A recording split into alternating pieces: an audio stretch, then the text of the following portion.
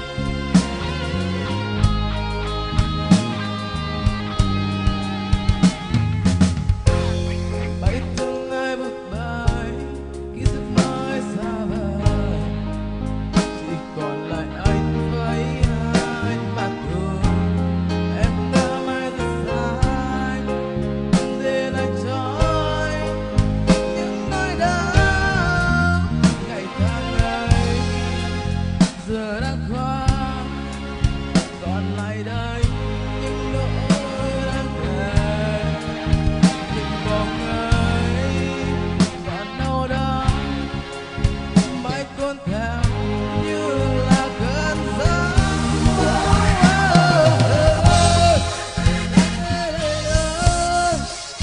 Tôi biết rằng